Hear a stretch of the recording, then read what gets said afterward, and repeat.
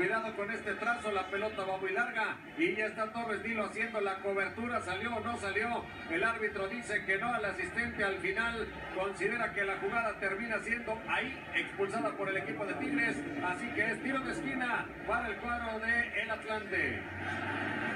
Y vendrá para el cobro Osvaldito Martínez que conoce perfectamente esta cancha y esta afición, pero como rival de varios torneos acérrimo enemigo deportivo los De Monterrey.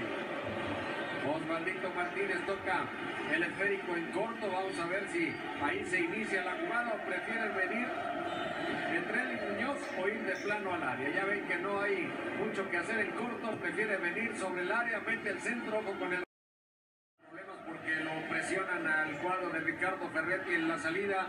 Aquí deciden ir en largo, cosa que no verá usted muy frecuentemente de este equipo. Y luego la presión de Navarro, pero la recuperación la tiene Atlante, ojo con Paredes. Se enfrenta con Ayala, viene Paredes, busca el perfil, saca el tiro, para gol. ¡Gol!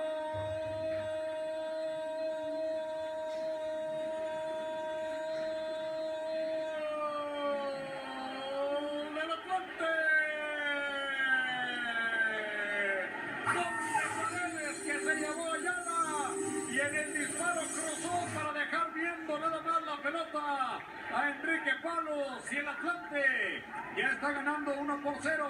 Roberto Gómez Junco. Eso que mencionábamos, el Atlante fiel a su estilo, los Tigres que salen más agresivos respuesta del Atlante es esta. Si me atacan, no respondo defendiéndome, respondo atacando. Antes de los 5 minutos del segundo tiempo consiguen este gol, la magnífica jugada, abrir la cancha y después Paredes que ve ese resquicio para cruzar así impecablemente la pelota. Pues ahí la situación, Mario, es la pelota que pierde Navarro en medio campo. Desde ahí se está derivando toda esta situación. Este es un gol por México. Este gol tiene causa. GNP Seguros, Fundación Televisa y Televisa Deportes.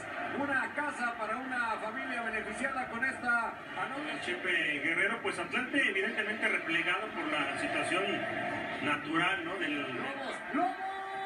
Villalpando. Pulido se tardó un poquito, la controla, encara, centra. Elías no le alcanzó a llegar la pelota. Balón hacia afuera. Y qué susto para el Atlante, Mario.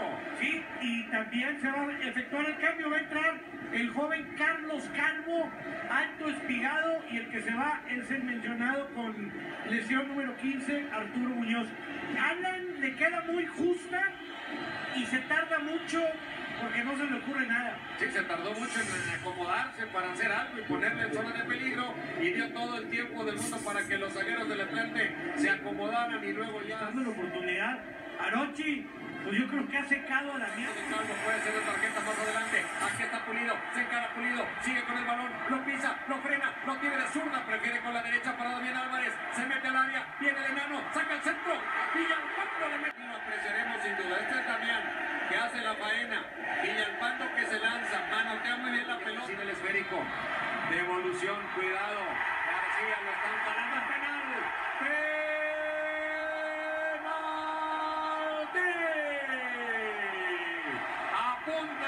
Primera de español. Se tiró por la banda. Apareció en la zona de Damián. Se mete haciendo gambetas al área. Y ahí forza el jalón para un penal que me parece claro. Vamos contigo, Roberto. No sé si la primera vez que Luis García se sale del centro para recibir la pelota, después incursiona por la izquierda, el cambio de velocidad a profundidad, quizá exagera en la caída, pero por otro lado, ese brazo del atlantista pues ya le da elementos al árbitro para.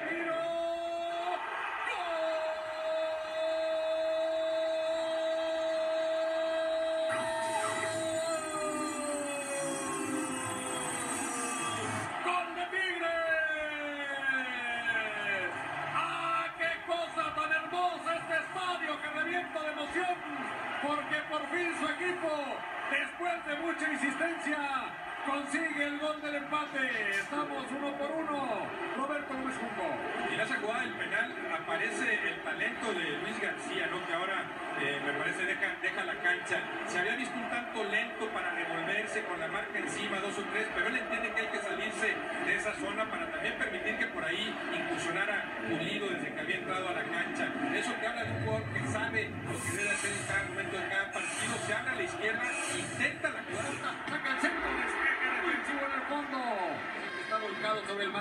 También se lleva un empujón, es falta. Y desde ahí vendrá la posibilidad para Tigres.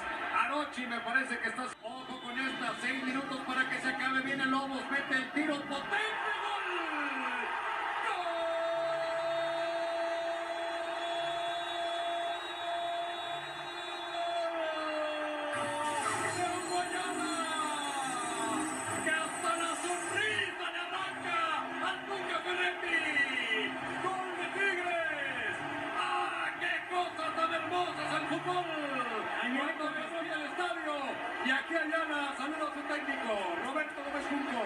Asunto de Ayala, ¿no? En el primer tiempo, el elemento más importante para los Tigres fue Ayala, pero Alejandro, el árbitro asistente, y ahora Hugo Ayala con este cabezazo, decíamos, a balón parado, logra reflejar eso que era un amplio dominio. Brinca perfecto, anticipa los defensores,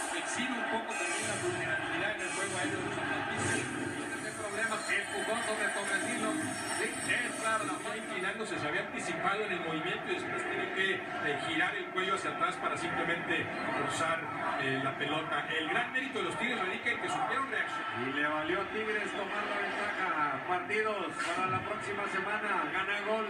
Atlas contra Tigres allá en el Jalisco. Que, que se agoten los últimos instantes. Aquí se termina. Tigres se arroba el mandado al Atlante. Le gana 2 por 1 el equipo de Ferretti al cuadro de la Volpe. Y con esto les agradecemos que hayan estado con nosotros, pero no se vaya, porque estamos en San Luis. El equipo real de San Luis contra el cuadro de Cruz Azul. Gracias y muy buenas noches.